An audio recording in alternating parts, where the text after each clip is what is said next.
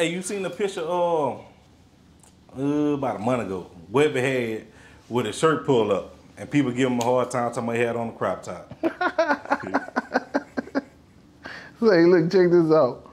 I've seen Webbie do that a million times. Me too, yeah. Because it just be like he raised his shirt up and he show his tattoos, Savage Life, show his daughters and stuff like that, Mm-hmm. Trill for Life. I mean, he been doing that. So it's just like, okay, y'all want to take this and like I say, push a narrative. We'll help. We're gonna push a project. We're gonna push a CD. You heard me? Shout out to Trey Savage. Let's take that energy, that negative energy, and turn it into promotion, publicity. You heard me? Because they know what up with Webbie, bro. Like, say for instance, bro, they gotta remember, bro, Webbie and Boosie can do what they want to do, bro. Mm-hmm. Like they, they, they, you know, not. I'm not gonna say they started it, but you know, they took it to the level to where people respected us and people wanted to do what we did and be like us and you know want to live like people from Baton Rouge want to come to Baton Rouge and see what we got going on because of them dudes. So you know if that man want to wear a shirt like that, so be it, man. I ain't tripping because you know it looked like a nice picture to me. He still looked like a savage to me. Mm-hmm. You feel what I'm saying? But just think when you older, you get up there in age,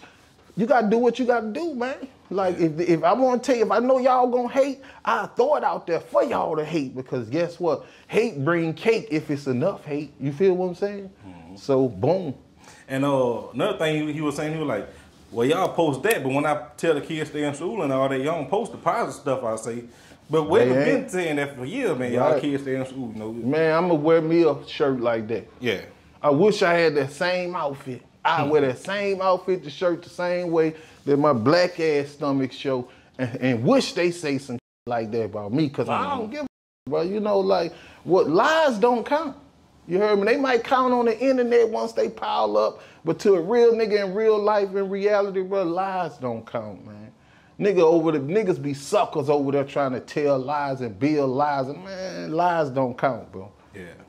Nowhere. Not in my life. Not in niggas around me life. My children, nobody I deal with, lies don't count. That we practice that, we preach that.